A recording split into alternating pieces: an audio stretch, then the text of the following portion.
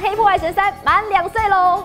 哇，还记得当年抢购游戏的盛况，到现在都还是记忆犹新。怎么这么快就满两岁了？不过这两年历经风风雨雨，暗黑破坏神三也随着资料片再度复活啦。现在官方呢也举办了满周岁活动，提高了掉宝率以及秘境碎片的数量，要来慰劳一下各位玩家的辛劳。据说掉宝风光闪不停，还没有体验过玩家赶快去玩喽！